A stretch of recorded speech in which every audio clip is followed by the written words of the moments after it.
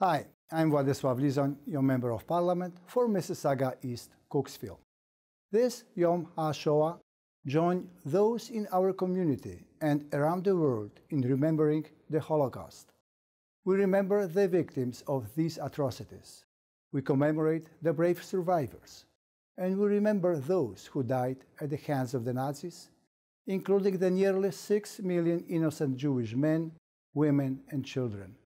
On this solemn day, we pay tribute to the victims of the Holocaust by renewing our commitment to never forget and never allowing it to be repeated. Thank you.